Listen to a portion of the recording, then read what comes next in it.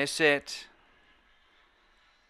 Racing now. Fast Dancer missed it badly. Sunset Stella away well with Harlan Rocks, Junkyard Sarge, and then Towering Inferno. Fast Dancer pushed wide, and then Masoni, Mighty Tay. Where's Dino? But Junkyard Sarge dashed clear of Harlan Rocks, and an early double for Jeffries.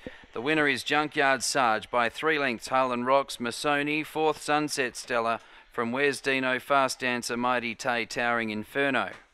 1722.